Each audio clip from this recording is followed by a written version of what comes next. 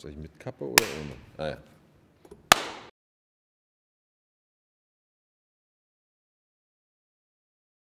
Ähm, es geht eigentlich um eine relativ junge Familie, also um den Johannes und um Käthe, die äh, seit kurzem ein Kind haben, also ich glaube seit drei Wochen ungefähr, also noch ein Neugeborenes. Und ähm, mit dabei ist noch die, die Mutter von Johannes und eine sehr enge Freundin. Und relativ schnell kommt dann eine neue Figur, eine neue Person dazu, eben der Arno. Und der verändert so ziemlich alles. Also die ganze Konstellation kommt ins Wanken und der Hannes beginnt mit ihm eine sehr enge Freundschaft, ähm, die auch viel über seine Arbeit, mit seiner Arbeit zu tun hat. Also er ist Schriftsteller. Und daraus entsteht dann irgendwann eine Liebe und eine Leidenschaft und das bringt so ziemlich alles ins Wanken.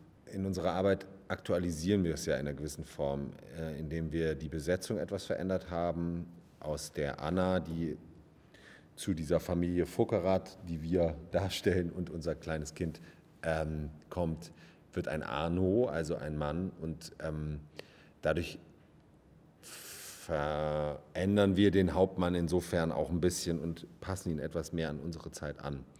Aber die Konflikte und Themen und die Sehnsüchte dieser Figuren sind so äh, universell und äh, vielschichtig, dass sie, glaube ich, äh, zeitlos sind. Ich sag zu dir und du sagst zu mir. Okay. Oh okay. Eigentlich eine Medizinstudentin gewesen, hat, einen, hat aber während des Studiums irgendwie nicht so richtig Fuß gefasst darin und hat es dann irgendwann auch abgebrochen ähm, in einer Phase, wo wir uns schon kannten. Ähm, und bei mir ist es quasi erfolgreich, gerade mit dem ersten Roman durch die Decke ging. Jetzt erzähle ich. Ja, das erzählst du dann. Aber ich, äh, ich ja, okay. Sie kommt nicht aus einer, aus einer einfachen Familie.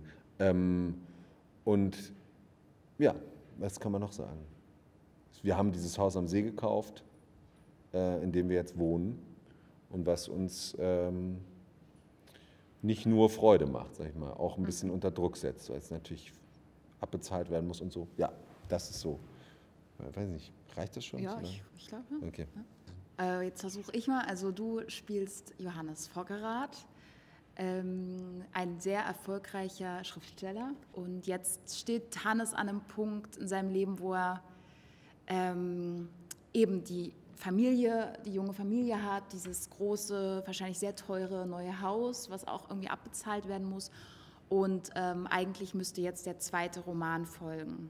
Und das ist ähm, das Problem, weil er gerade irgendwie nicht, nicht weiß äh, oder nicht genau, noch nicht genau eine Ahnung davon hat, wie dieses zweite Buch aussehen soll, beziehungsweise damit noch nicht so zufrieden ist mit seinen Entwürfen und in einer extremen Schaffenskrise ist. Ja. Oder? War das ganz gut, Voll, oder? ja. ja. Wollen wir nochmal klatschen?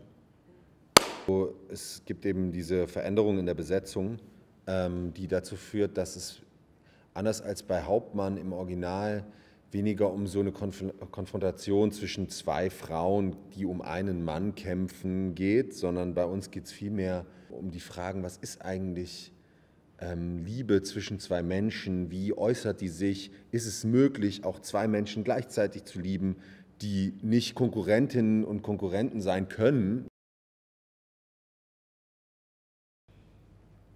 Also mit Daniela zusammenzuarbeiten ist insofern für Schauspielerinnen und Schauspieler, die Lust haben auf Figurenarbeit und auf intensivste Auseinandersetzung mit einem Text und mit einer Figur und mit einer Situation und mit Sprache und mit all dem Ganzen, was Theater auch ausmachen kann, ist, äh, glaube ich, kann man sagen, ein absolutes Geschenk, weil sie einfach wahnsinnig genau ist, wahnsinnig gut vorbereitet und dann aber die Möglichkeit einem gibt, wirklich gemeinsam etwas zu entwickeln, was ähm, dann am Ende, und so ist das, finde ich, bei der Arbeit jetzt schon spürbar, auch was wird, was wirklich ähm, einem auch gehört als, als Spielerin oder Spieler.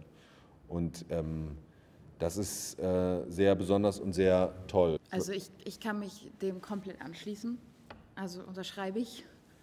Ähm, und ich würde noch dazu hinzufügen, dass ich, also das, ich mag beides, diese Strenge und gleichzeitig aber auch das Einfordern der, der eigenen Freiheit und ähm, und sich das einfach zu nehmen und auszufüllen und Spaß zu haben. Wir haben zweimal die Treppe, aber Und vielleicht, haben wir vielleicht noch, noch ein bisschen mehr. Nein. Also das Bühnenbild lässt sich, glaube ich, so beschreiben, ist fast, glaube ich, wie so ein Weg, weil den das Bühnenbild geht. Ich glaube, es beginnt eigentlich mit einem, wie eine Art von Schatten oder Zitat eines großbürgerlichen Anwesens, ähm, in dem das ist äh, schwarzer Lack, äh, sch- so fast wie so ja einfach fast wie zu zugelackt und Treppen, äh, die eine Größe eines Hauses irgendwie suggerieren, die aber so ins Nichts führen. Also es ist so, ähm, es, es zitiert so, äh, es, es gibt ein Klavier, ja, also äh, so, so Dinge, die man halt so in so einem Haus sich so anschafft. Plattenspieler. Plattenspieler, so, ähm, ja. Und führt dann aber eben auf diesem Weg und über diesen Abend immer mehr in so einen surrealen, äh, fast äh, Innenraum dieser Figuren. Ja? Ähm, und das passiert über das Element des Wassers und es passiert über auch ähm, über, glaube ich, Ton und, und Musik. Aber es ist quasi, es, es, es hebt immer mehr ab zu einem, zu einem Raum, der nicht real ist ähm, und trotzdem eine Realität hat. Also für alle diese Figuren.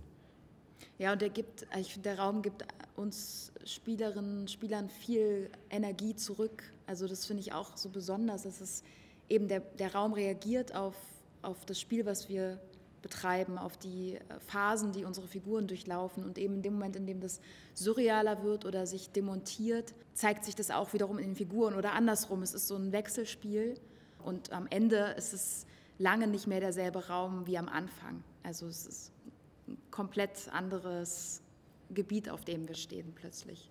Also es lohnt sich allein schon für die Bühne, Ja, auf jeden Fall, oder? ja.